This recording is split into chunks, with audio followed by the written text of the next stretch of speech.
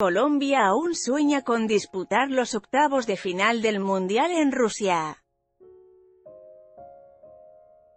La escuadra cafetalera logró sumar sus primeros tres puntos al imponerse 3 a 0 a Polonia, selección que se despidió de la justa mundialista al acumular su segunda derrota.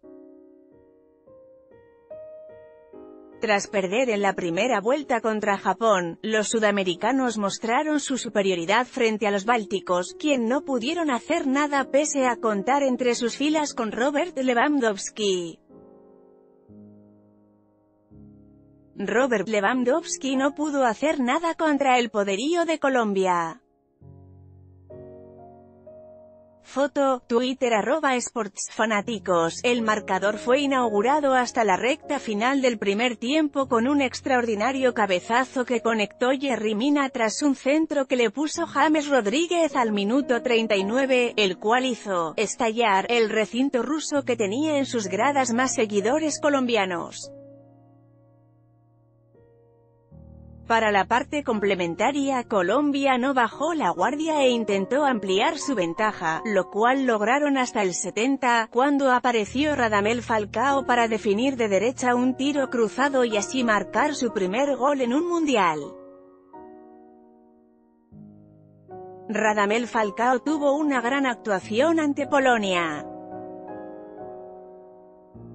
Foto, Twitter arroba sportsfanáticos, Polonia aún no se recuperaba de la segunda anotación en su contra cuando Cuadrado no desaprovechó la oportunidad para escaparse con el balón y definir frente al portero al lado derecho tras un pase espectacular de Ames.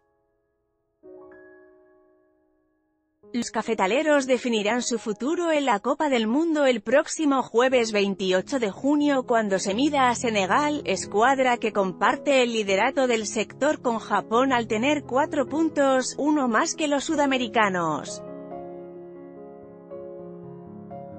James Rodríguez fue considerado el jugador más valioso del duelo ante Polonia. Foto, Twitter arroba sportsfanáticos. Podría interesarte, entérate de la información más relevante del Mundial en Cultura Colectiva News. Conoce la historia del futbolista.